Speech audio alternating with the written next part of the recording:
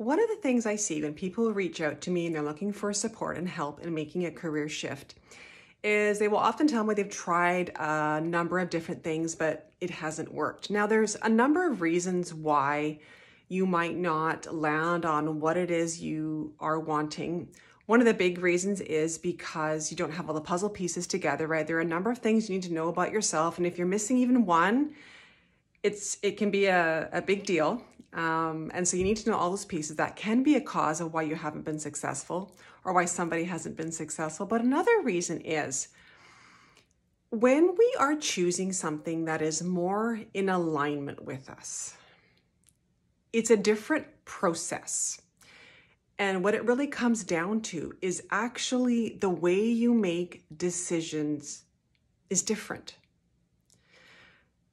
And when people are making a career change or they are choosing a career path, it usually goes one of two ways. One way is they've planned out the next five years or 10 years and they've got this nice linear progression of how they see they're going to progress up the corporate ladder or do whatever it is they want to do. Or it's sometimes a little more haphazard. We're jumping around hoping we'll find what we're landing on. And neither of those really work if you are looking for something in alignment. So, a key to this really is understanding that the whole way that you make decisions when you're choosing to live, whether it's a career that's in alignment or a life that's in alignment, is quite different than how we've all been taught. And that's why in my program, you know, the first half of the program is about learning, finding all those pieces.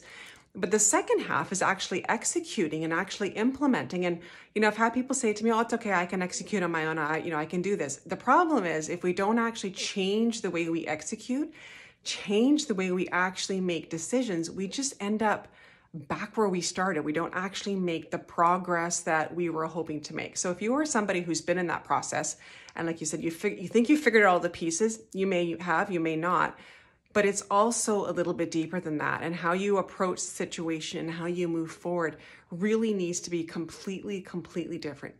The great thing about this is when you make decisions based on being in alignment with yourself and you do know parts about yourself that are key to knowing um, how to make those decisions, decisions become so much easier. The yeses and the nos just become easier. So much conflict we have within ourselves. You know, it's not conflict with the outside world. The conflict we have is within ourselves because the things we are doing are not in alignment with ourselves. And that's when we feel anxiety, uh, you know, stress. When you start living a life in alignment, those things automatically, they decrease. The inner conflict decreases. And that really is truthfully what, you know, most people are looking for to a certain degree.